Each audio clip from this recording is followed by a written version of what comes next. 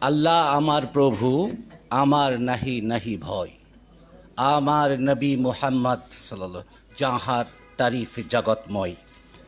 আমি একটু নজরুল নজরুল, আমাকে প্লিজ নজরুল গবেষক বলবেন না। গবেষক এখানে আছেন। বড় জোর নজরুল প্রেমিক বলতে পারেন, গবেষণা আমি করি নাই। নজরুল একবার, নজরুল কাজী নজরুল ইসলাম সাহেব পড়াশোনা করতে এক দারোগা রফিজুদ আপনারা জানেন এখানে পড়তে এসছে আমাদের মাইমেনসিংয়ে সেখানে আগে ছোটবেলায়, ওনারা জানেন, আগে রচনা মুখস্থ করতে দিত। গরুর চারটি পা আছে, একটি লেজ আছে, শিং কাজে লাগে, চামড়া দিয়ে এই ব্যাগ হয়, দুধ উপকারী, ঘাস খায়, গৃহপালিত, মুখস্থ করতে হতো। এটাকে বলা হতো রচনা, আমরাও তাই পড়েছি। গরু রচনা মুখস্থ করো। তো নজরুল যে ক্লাসে পড়তেন, সেই ক্লাসে গরু রচনা মুখস্থ করতে দেয়া হলো। তো নজরুল তো মুখস্থ করার লোক না। টিচার তাকে পিটাচ্ছেন। বলছেন, তুই তো বাউন্ডেলে বল, রচনা মুখস্থ বল। তো নজরুল প্রশ্ন করছে, স্যার, রচনা মানে কি, স্যার? তা বলছে, রচনা মানে কি? তুই মুখস্থ করছস কি না বল? প্রথম আট লাইন। বলছে, না, স্যার, রচনা মানে কি আপনার কাছে আমি জানতে চাই? তো বলছে, রচনা মানে তো বানানো। তো বানানো হইলে মুখস্থ করলে বানানো হইল কেমনে?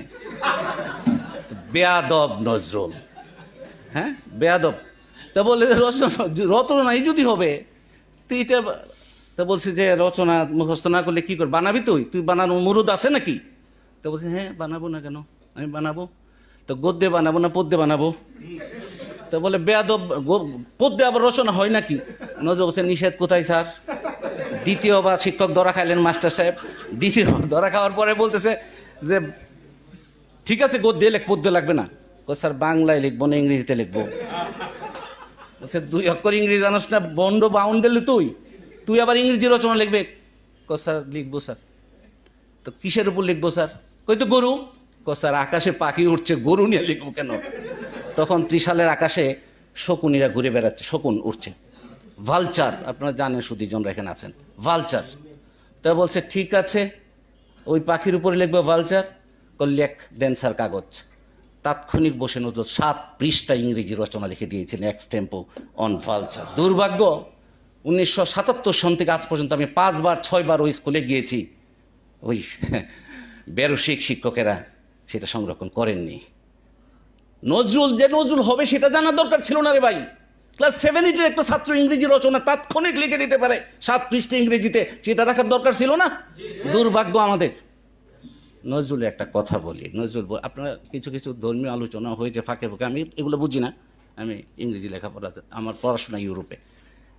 এই যে একটু ইশারা বুঝেন তো দেখি নজরুল বলছেন, ফল বহিয়াছ পাউনিক রস হাইরে ফলের ঝুরি, লক্ষ বছর ঝর্ণায় ডুবেও রস পাই না কো নুরি। নুরি পাথর ঝর্ণার পানিতে ডুবে থাকে, কিন্তু ওর ভিতরে পানি ঢোকে না, রস পায় না। ফলের ঝুরি ফলই বয়ে বেড়ায় সারা জীবন, কিন্তু ফলের রস পায় না। জল পায় না নুরি, রস পায় না ঝুরি। নজরুল চমৎকার করে বলছে, আমরা অনেক জ্ঞান অর্জন করছি, অনেকে অনেক বড় বড় ডিগ্রি, অনেক বড় বড় হাসিল করেছি, ফারেক হয়েছে অমুকখান থেকে তো তমুকখান থেকে, কিন্তু কয়জন রস পেয়েছি? কাজী নজরুল ইসলাম আমার রাসূল সাল্লাহ আলাই ওয়াসাল্লামকে চিত্রিত করেছেন ব্যথিত মানবের ধ্যানের ছবি। Only four words my friends তিনি ছিলেন ব্যথিত মানবের ধ্যানের ছবি। ব্যথিত মানবকে অত্যাচার নির্যাতন নিষ্পেষণ জুলুম নির্যাতন যখন বেড়ে যায় কারও যখন এগুলো ঠেকানোর পথ বুদ্ধি থাকে না তখন ব্যথিত মানব একটা ধ্যানের ছবি কল্পনা করেন। সেটা ছিলেন রহমত আলীর আলামিন। এবং তার আগমনে কি হয়েছে? আজি মাতিল বিশ্ব নিখিল মুক্তি কলরুলে। ভোরবেলায় যখন রাত শেষ হয়ে আসে মুক্তির কলরুলে পাখিরা বাতা বাসা থেকে বেরিয়ে যায়। সেই চিত্র নজরুল নিয়ে এসছেন। মাতিল বিশ্ব নিখিল মুক্তি তোরা দেখে যা আমি না মায়ের বলে। আপনারা যারা লিখছেন, দয়া করে এই বিষয়গুলো খেয়াল করবেন। আরেকটা বিষয় বলি, কে পুরস্কার পাবেন না পাবেন, আমার দেখার বিষয় না। পুরস্কার যিনি দিয়েছেন, তাকে আমি সালাম জানাই, তার জন্য দোয়া করি। যারা লিখেছেন, সঙ্গে সঙ্গে পুরস্কার পেয়ে গেছেন। এ ঢাকা বিশ্ববিদ্যালয়ের অধ্যাপক সাহেব হয়তো যোগ্যতা দেখে বা মানদণ্ড হুজুরের নির্ধারিত মানদণ্ডে বাছাই করে শ্রেষ্ঠ যিনি তাকেই পুরস্কার দিবেন। কিন্তু লেখা মাত্র একটা পুরস্কার আপনি পেয়ে গেছেন। আমি বলে গেলাম আপনাদের, যারা কলম ধরেছেন, ওই স্যার হুজুর বলেন কলম উঠিয়ে দিয়েছেন। এটাই সার্থকতা। আমি একটা আরেকটা বিষয় বলি। সেটা হলো, এই যে আমি যদি আরব হতাম, মদিনার পথ। একটু খেয়াল করেন আপনারা লিখছেন? এই কাজী নজরুল ইসলাম সাহেব লিখতেন। একটু খেয়াল করেন, আমি আমিও চেষ্টা করি লিখতে। কি লিখছেন তিনি? মা ফাতিমা খেলতেন এসে আমার ধুলি লয়ে। কি খেলতেন? ধুলি। আমি পড়তাম তার পায়ে লুটিয়ে ফুলের রেণু হয়ে। আমি ধুলি, কিন্তু ওই কদম মুবারক, এত দামি। যে ওখানে যখন আমি লুটাই পড়ব, তখন আর আমি ধুলি থাকলে চলবে না। অটোমেটিক আমি ফুলের রেন হয়ে যাবে। হাসান হাসান হোসেন হেসে হেসে খেলতো আমার বক্ষে এসে। তাতে কি হতো?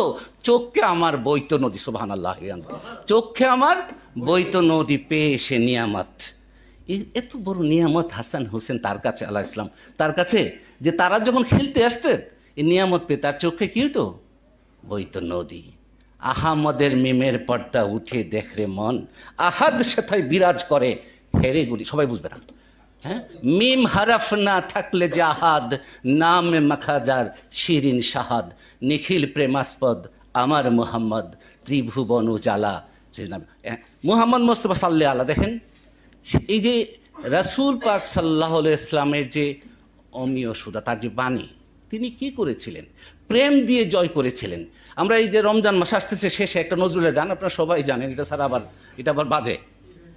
শেষের চারটা লাইন কিন্তু আমি জানি না এখানে দুই চারজন ছাড়া আমরা জানি কিনা। ওই গানের শেষের চার লাইন কি কেউ আমাকে বলতে পারবেন? ওমন রমজানের রোজা শেষে গানের শেষের চার লাইন? এই যে একজন পাওয়া গেল। তোরে, এই যে প্রেমের বিষয়টা আসছে, তোরে মারলো ছুঁড়ে জীবন ভরে ইট পাথর যারা, সেই পাথর দিয়ে তুলরে গড়ে প্রেমেরই মসজিদ। এই যে প্রেম, হিংসা, হানাহানি, জঙ্গিবাদ, ওটা তোরা সুলসাল তিনি শিখেছেন কে? তলোয়ার তুমি দাও নাই, হাতে দিয়েছ অমর বাণী। হ্যাঁ? ক্ষমা করো হজরত তোমার বাড়িরে করিনি গ্রহণ, ক্ষমা করো হজরত ভুলিয়ে গিয়েছি তব আদর্শ, তোমার দেখানো পথ, ক্ষমা করো হজরত এবং এই এই জায়গাটাতেই আসল প্রশ্নটা আসে, আজকাল এমনও শুনতে হচ্ছে বড়ই দুর্ভাগ্য আমার। এমনও শুনতে হচ্ছে যে নবীজি সাল্লাহ ইসলাম মধ্যে লিমিটেশন ছিল। তিনি আমাদের মতোই মানুষ ছিলেন। একটা ছোট্ট কথা বলে আমার ধর্মীয় জ্ঞান নাই মাফ করবেন আমাকে। ছোট্ট একটা প্রশ্ন আমি শুধু রাখি যারা লিখছেন আমি শুধু তাদের পেয়ে একটু উত্তেজিত হয়ে যাচ্ছি। এদের পেয়ে এদের পেয়ে। ছোট্ট করে একটা জিনিস যদি আমরা খুব ছোট্ট করে বোঝার চেষ্টা করি আল কোরআন নজরুল বলছেন আল কোরআনের জাহাজ বোঝাই, হীরা, চুনি, পান্নাতে। লুটে নেড়ে লুটে নে সব, ভোরে তোল তোর শূন্য ঘর। ইসলামেরই সৌদালয়ে এলেন নবীন সৌদাগর। দুর্ভাগ্য, উনিশশো সাতাত্তর সন থেকে আজ পর্যন্ত আমি পাঁচবার, ছয়বার ওই স্কুলে গিয়েছি। ওই বেরসিক শিক্ষকেরা সেটা সংরক্ষণ করেননি। নজরুল যে নজরুল হবে সেটা জানা দরকার ছিল না রে ভাই। ক্লাস সেভেন এইটের একটা ছাত্র ইংরেজি রচনা তাৎক্ষণিক লিখে দিতে পারে, সাত পৃষ্ঠে ইংরেজিতে, সেটা রাখার দরকার ছিল না? দুর্ভাগ্য আমাদের। নজরুলের একটা কথা বলি। নজরুল আপনারা কিছু কিছু ধর্মীয় আলোচনা হয়েছে ফাঁকে ফাঁকে, আমি এগুলো বুঝি না। আমি ইংরেজি লেখাপড়া, আমার পড়াশোনা ইউরোপে। এই যে একটু ইশারা বুঝেন তো দেখি নজরুল বলছেন, ফল বহিয়াছ পাউনিক রস হাইরে ফলের ঝুরি লক্ষ বছর ঝর্ণায় ডুবেও রস পাই না কো নুরি নুরি পাথর ঝর্ণার পানিতে ডুবে থাকে, কিন্তু ওর ভিতরে পানি ঢোকে না, রস পায় না। ফলের ঝুড়ি ফলই বয়ে বেড়ায় সারা জীবন, কিন্তু ফলের রস পায় না। জল পায় না নুরি রস পায় না ঝুড়ি। নজরুল চমৎকার করে বলছে, আমরা অনেক জ্ঞান অর্জন করছি, অনেকে অনেক বড় বড় ডিগ্রি, অনেক বড় বড় হাসিল করেছি, ফারেক হয়েছে, অমুকখান থেকে তো তমুকখান থেকে, কিন্তু কয়জন রস পেয়েছি? কাজী নজরুল ইসলাম আমার রাসূল সাল্লাহ আলহি ওয়াসাল্লামকে চিত্রিত করেছেন ব্যথিত মানবের ধৈর্যের ছবি। Only four words my friends তিনি ছিলেন ব্যথিত মানবের ধ্যানের ছবি। ব্যথিত মানবকে অত্যাচার, নির্যাতন, নিষ্পেষণ, জুলুম, নির্যাতন যখন বেড়ে যায়, কারও যখন এগুলো ঠেকানোর পথ বুদ্ধি থাকে না, তখন ব্যথিত মানব একটা ধ্যানের ছবি কল্পনা করেন। সেটা ছিলেন রহমত আলীর আলামিন। এবং তার আগমনে কি হয়েছে? আজি মাতিল বিশ্ব নিখিল মুক্তি কলরুলে। ভোরবেলায় যখন রাত শেষ হয়ে আসে, মুক্তির কলরুলে পাখিরা বাতা, বাসা থেকে বেরিয়ে যায়। সেই চিত্র নজরুল এসছেন মাতিল বিশ্ব নিখিল মুক্তি, তোরা দেখে যা আমি না মায়ের বলে আপনারা যারা লিখছেন, দয়া করে এই বিষয়গুলো খেয়াল করবেন। আরেকটা বিষয় বলি, কে পুরস্কার পাবেন না পাবেন, আমার দেখার বিষয় না। পুরস্কার যে দিয়েছেন, তাকে আমি সালাম জানাই, তার জন্য দোয়া করি। যারা লিখেছেন, সঙ্গে সঙ্গে পুরস্কার পেয়ে গেছেন। এ ঢাকা বিশ্ববিদ্যালয়ের অধ্যাপক সাহেব হয়তো যোগ্যতা দেখে বা মানদণ্ড হুজুরের নির্ধারিত মানদণ্ডে বাছাই করে শ্রেষ্ঠ যিনি তাকেই পুরস্কার দিবেন। কিন্তু লেখা মাত্র একটা পুরস্কার আপনি পেয়ে গেছেন। আমি বলে গেলাম আপনাদের, যারা কলম ধরেছেন, ওই স্যার হুজুর বলেন কলম উঠিয়ে দিয়েছেন, এটাই সার্থকতা। আমি একটা আরেকটা বিষয় বলি। সেটা হলো, এই যে আমি যদি আরব হতাম মদিনার পথ। একটু খেয়াল করেন, আপনারাও লিখছেন এই কাজী নজরুল ইসলাম সাহেব লিখতেন। একটু খেয়াল করেন, আমি আমিও চেষ্টা করি লিখতে। কি লিখছেন তিনি? মা ফাতিমা খেলতেন এসে আমার ধুলি লয়ে। কি খেলতেন? ধুলি। আমি পড়তাম তার পায়ে লুটিয়ে ফুলের রেণু হয়ে। আমি ধুলি, কিন্তু ওই কদম মুবারক এত দামি যে ওখানে যখন আমি লুটাই পড়ব, তখন আর আমি ধুলি থাকলে চলবে না। অটোমেটিক আমি ফুলের রেণু হয়ে যাবে। হাসান হাসান হোসেন হেসে হেসে খেলতো আমার বক্ষে এসে। তাতে কি হতো? চোখে আমার বৈত নদী সুবাহান আল্লাহ চোখে আমার বইতো নদী পেয়ে এসে নিয়ামত এত বড় নিয়ামত হাসান হোসেন তার কাছে আল্লাহ ইসলাম তার কাছে, যে তারা যখন খেলতে আসতেন, এই নিয়ামত পেয়ে তার চোখে কি হতো বইতো নদী। আহামদের মিমের পর্দা উঠে দেখরে মন। আহাদ সেথায় বিরাজ করে হেরে গুলি। সবাই বুঝবে না। হ্যাঁ মিম হারাফ না থাকলে জাহাদ নাম মাখাজার শিরিন শাহাদ নিখিল প্রেমাস্পদ আমার মুহাম্মদ ত্রিভুবন উজালা মুহাম্মদ মোস্তফা সাল্লে আলা দেখেন এই যে রাসূল পাক সাল্লাহ ইসলামের যে অমীয় সুদা তার যে বাণী, তিনি কি করেছিলেন? প্রেম দিয়ে জয় করেছিলেন। আমরা এই যে রমজান মাস আসতেছে, শেষে একটা নজরুলের গান, আপনারা সবাই জানেন, এটা স্যার আবার, এটা আবার বাজে। শেষের চারটা লাইন কিন্তু আমি জানি না এখানে দুই চারজন ছাড়া আমরা জানি কিনা। ওই গানের শেষের চার লাইন কি কেউ আমাকে বলতে পারবেন? ওমন রমজানের রোজা শেষে গানের শেষের চার লাইন? এই যে একজন পাওয়া গেল। তোরে, এই যে প্রেমের বিষয়টা আসছে, তোরে মারলো ছুঁড়ে জীবন ভরে ইট পাথর যারা, সেই পাথর দিয়ে তুলরে গড়ে প্রেমেরই মসজিদ। এই যে প্রেম, হিংসা, হানাহানি জঙ্গিবাদ। ওটা তোরা সুলসাল তিনি শিখেছেন কে? তলোয়ার তুমি দাও নাই, হাতে দিয়েছ অমর বাণী। হ্যাঁ? ক্ষমা করো হজরত তোমার বাড়ির করিনি গ্রহণ। ক্ষমা করো হজরত ভুলিয়ে গিয়েছি তব আদর্শ, তোমার দেখানো পথ। ক্ষমা করো হজরত এবং এই এই জায়গাটাতেই আসল প্রশ্নটা আসে, আজকাল এমনও শুনতে হচ্ছে, বড়ই দুর্ভাগ্য আমার। এমনও শুনতে হচ্ছে যে নবীজি সাল্লাহ ইসলাম মধ্যে লিমিটেশন ছিল। তিনি আমাদের মতোই মানুষ ছিলেন। একটা ছোট্ট কথা বলে আমার ধর্মীয় জ্ঞান নাই মাফ করবেন আমাকে। ছোট্ট একটা প্রশ্ন আমি শুধু রাখি যারা লিখছেন আমি শুধু তাদের পেয়ে একটু ইয়ে উত্তেজিত হয়ে যাচ্ছি। এদের পেয়ে এদের পেয়ে।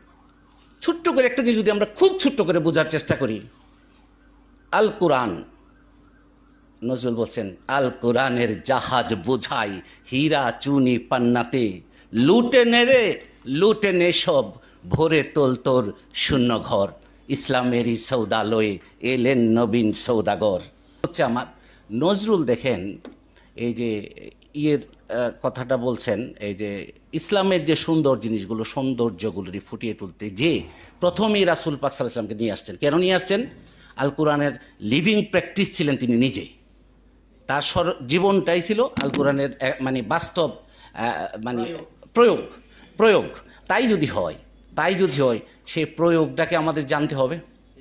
হ্যাঁ? বলছেন যে, ওরে মুসলিম, তোরা থাম।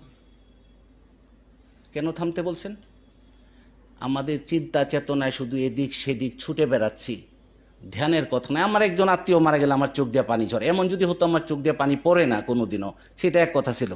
কিন্তু আল্লাহ রাসুল সাল- যিনি উম্মত ত্রাণ, তব, জপ মালা নজরুল বলছেন, কাজী নজরুল ইসলাম বলছেন রাসুল্লাহ সাল্লাহ ইসলামের জপমালা হলো উম্মত ত্রাণ, তব জপমালা তো যার জপমালাই হলো উন্মত ত্রাণ এবং রাসুল সাল্লাহ আসলাম ততক্ষণ আল্লাহ পাকের কাছে বারবার শুধু তার তার ইয়েদের উন্মতের পানা মুক্তির জন্যে, একের পর এক চাইতে থাকবেন, সুপারিশ করতে থাকবেন, অনুরোধ করতে থাকবেন, তাকে বোঝা তার প্রেমের আলোয় আলোকিত হওয়ার জন্যে। আমি যদি একদিন সুযোগ হয় এরকম হুজুর, আমাকে ঘন্টাখানেক এক দেড় ঘণ্টা সময় দিলে আমি যদি সুস্থ থাকি, আমার খুব ইচ্ছা। এই যে দেখেন গোলাম মোস্তফা এই যে তার একটু প্রশংসা করে নেই, এটা কিন্তু অনেক বড় একটা আমার এই যে সেলিম জাহাঙ্গীর সাহেব বলেছেন, এটা কিন্তু অনেক বড় কাজ। অনেক বড় কাজ করেছে, এবং এই জন্য তার কম কষ্ট করতে হয় নাই। এই জন্যে অনুরোধ থাকবে, তার বইটা আপনার যত্ন দিয়ে পড়বেন। আমি তার ফোন নাম্বার লিখে নিয়ে গিয়েছি। আমি এটা পড়ে তাকে ফোন করে আমার আমার ফিডব্যাকটা জানাব। আর এই